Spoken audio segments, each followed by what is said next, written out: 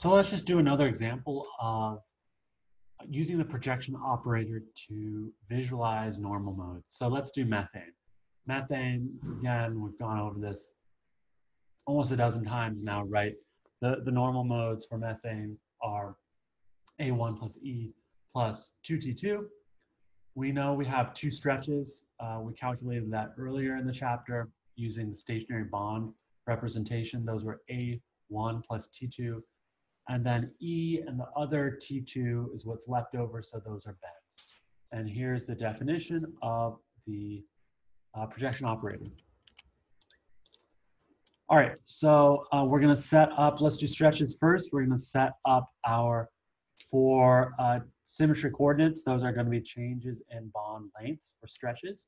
Label them delta L1 through delta L4.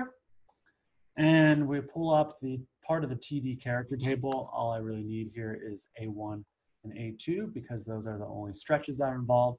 Let's do the A1 stretch first. Now remember, this is across all symmetry operations. So you have you have five classes, but you have one plus eight plus three plus six plus six. You have 24 symmetry operations. So there's gonna be 24 um, terms in this uh, product, which is you know quite annoying, but that's just the way it is. Uh, and I'll show you the good news in a second, is that once you calculate one of these, it's very easy to calculate the other one of them.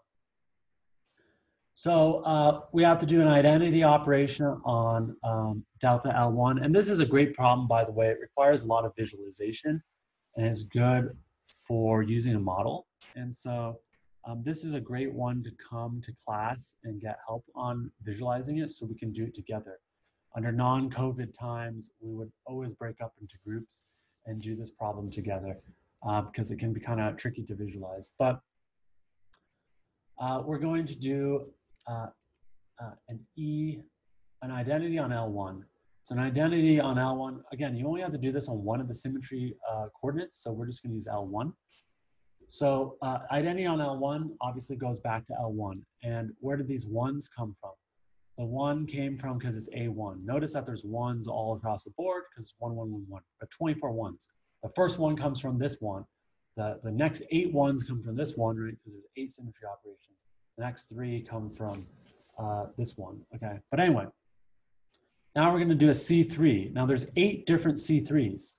So you have to identify all eight C3s. And, and that can be a little bit challenging, especially when you first when you're used to not having to identify the individual symmetry operations instead of just identifying one of the operations in a class, you know, so that's why, again, you really should be using a model um, for this. But we are going to do a C3. So, um, and I have to keep track of what C3s I, I use. So it looks like the first C3, I defined it as this one, okay? And so I'm rotating it around here. And again, I could use any C3, it doesn't matter what order I do this in, but I defined uh, the first C3, again, there's um, eight of them, as being this one. So uh, a C3 in that one is going to be, uh, that'll rotate the bottom hydrogens, and those are all interchanged. But this delta L1, I'm rotating through it, so that's not gonna change. So that's why I have L1 here. Okay. Next, um, I'm going to move on to a C3-2. C3 twice, that's in the same class. Um, through the same axis, again, rotating through the same axis, that's not gonna change L1. So that's gonna get me one times L1, get me L1. All right, and now we have to start going towards uh, other other um, C3s, okay?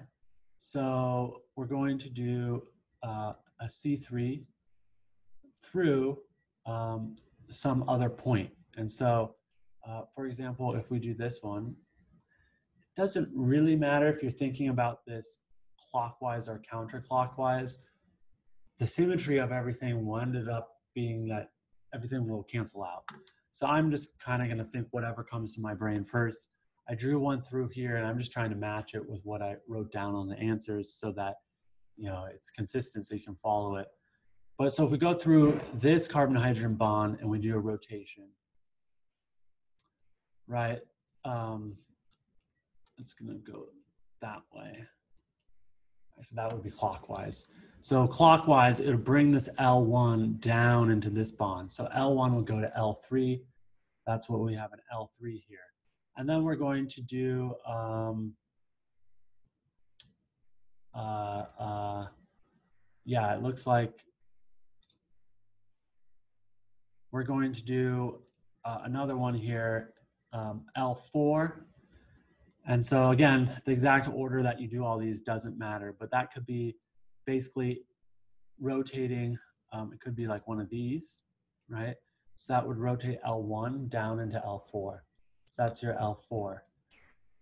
L2, uh, you can see this one got L2. It's, it's another C3. So that would be doing it maybe two times, getting it to L2. And then you get another L4 for the other axis. So, you know, it's a lot of working through this.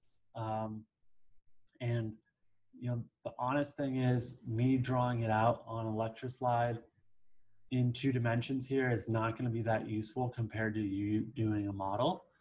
Um, and so you can work, we can work through all these. Please just stop this video and, and try to build a model and work on it or go in Otterbein. Um, if you're having trouble, let's just do this in class. I mean, that's really the, the best thing to do it.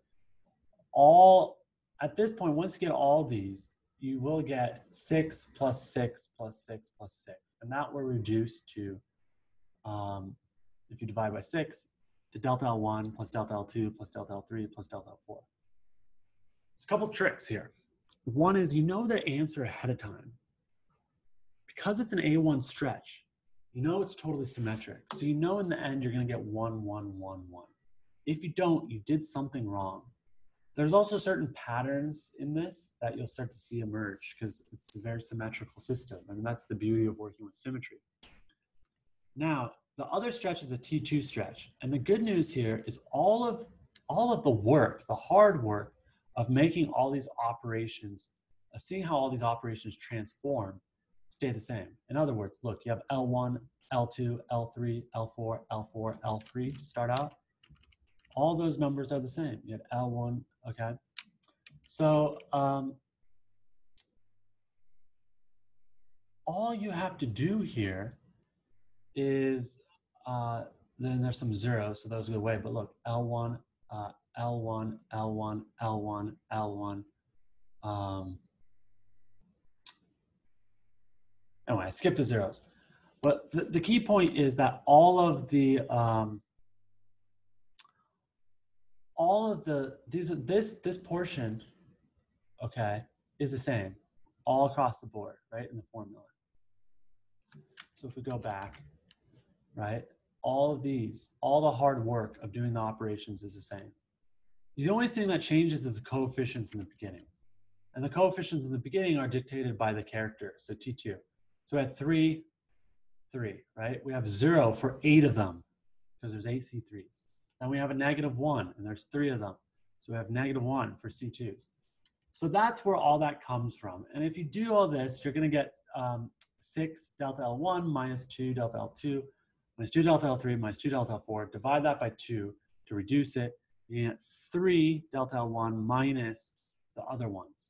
So what does that mean? This is an asymmetric stretch it means that L1, however you define L1, that's going to move three times. It's going to move really fast in one direction.